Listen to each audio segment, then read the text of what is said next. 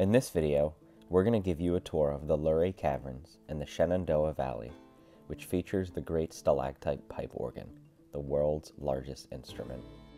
Not only is this a cool place to visit when near Shenandoah National Park, but it's a great thing to do when it's raining like mad and you feel bad you couldn't hike up that mountain.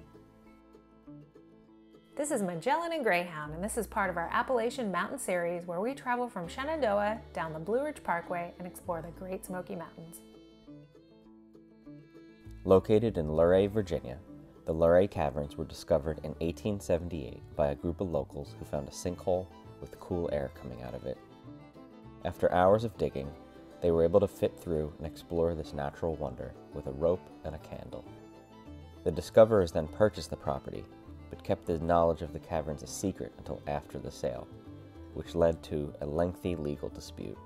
This ultimately led to the property being returned to the original owner, and it proceeded to change hands several times until 1905, when the present owners purchased it.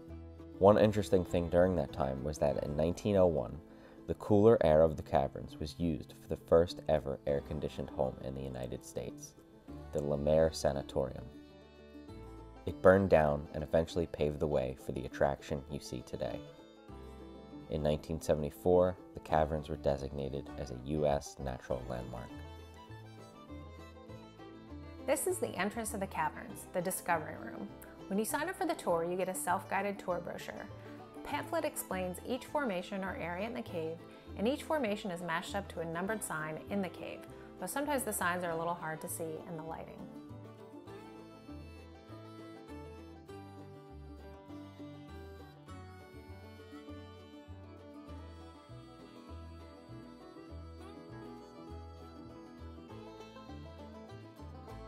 Here is the amphitheater. Many of the formations in the Luray Caverns are named after what the original discoverers thought the formations looked like.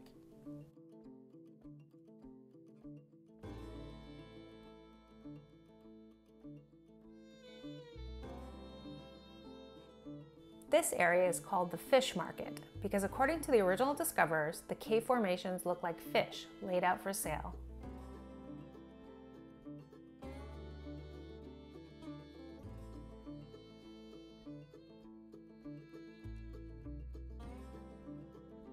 And here we arrive at one of the coolest parts of this place, Dream Lake, the largest body of water in the caverns.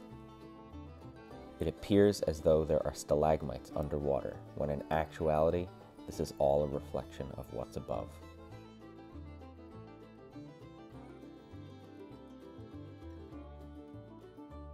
This has got to be the stillest water in the world. Pluto's Ghost you will be seeing this three times from three different places. This is the first, where it appears in an area called Pluto's Chasm. Pluto is the Roman god of the underworld. Think Hades in Greek.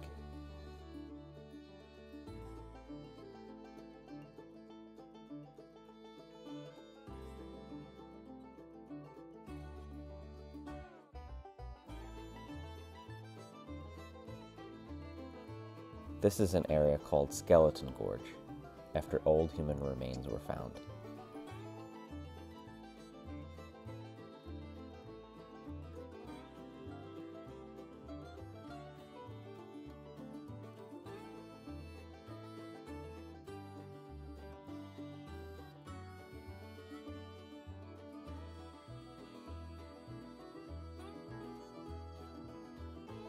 And here is Pluto's ghost again.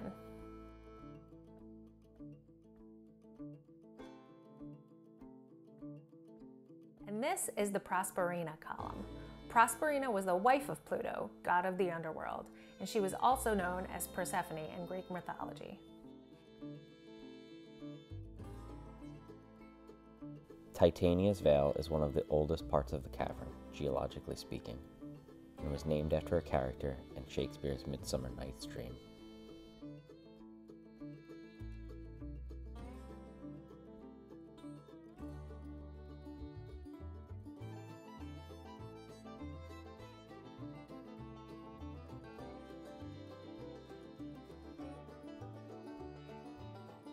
This is the giant redwood, which is the largest formation in the caverns and is thought to be 7 million years old.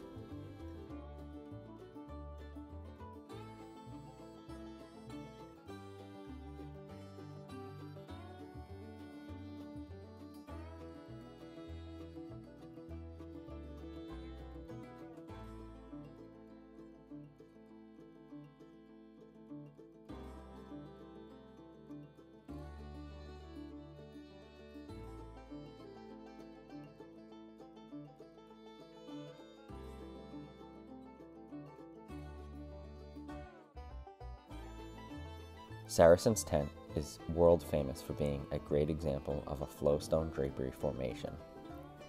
These formations occur when water drips down the edge of the rock and deposits calcite along the sloping edge, and are seen throughout the Luray Caverns.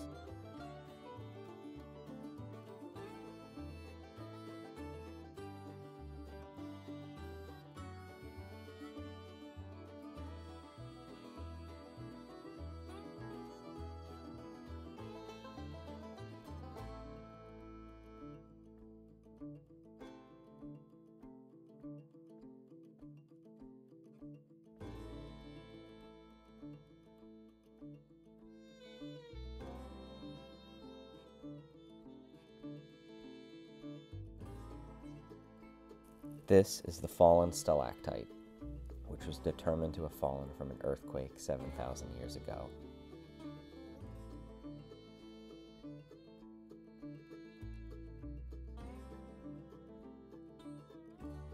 Giants Hall is the deepest area of Luray Caverns. This really reminded us of the Hall of Giants and Carlsbad Caverns, which we also made a video on on another road trip.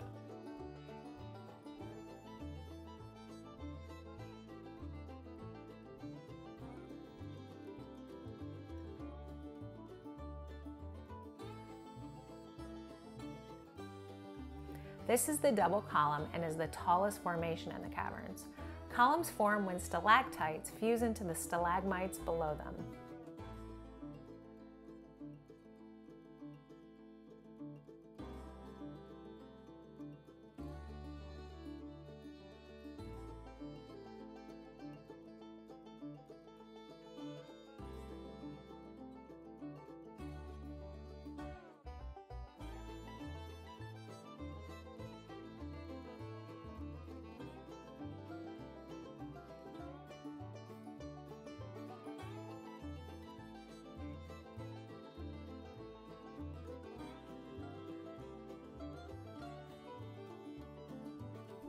This is probably one of the best spots in the caverns.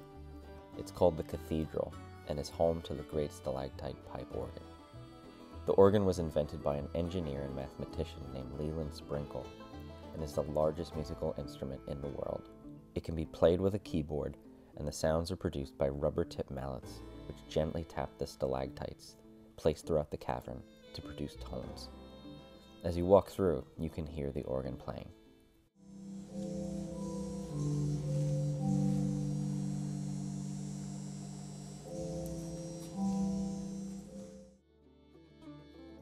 The area also used to be known as the ballroom because dances were held here. Here is the last view of Pluto's ghost from within Pluto's chasm.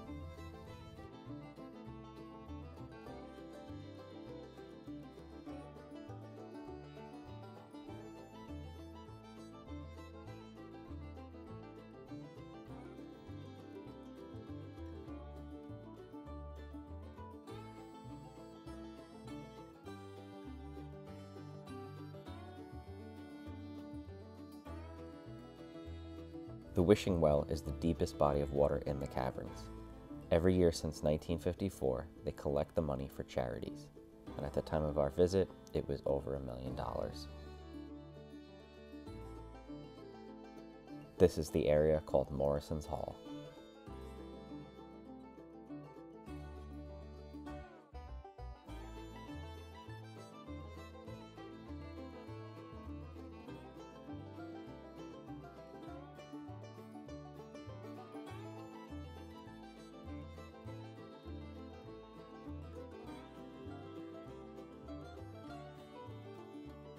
The formation called the fried eggs are supposed to be here, but we could not find them to save our lives.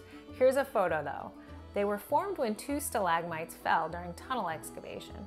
According to the tour brochure, people in the olden days rubbed the eggs for good luck, but nowadays we are not allowed to touch the cave formations. This is the Veterans Plaque, placed in 1928, which is dedicated to all the war veterans from Page County, Virginia where Luray is located. Lastly, this is Stebbins Avenue, named after one of the original discoverers, Benton Stebbins.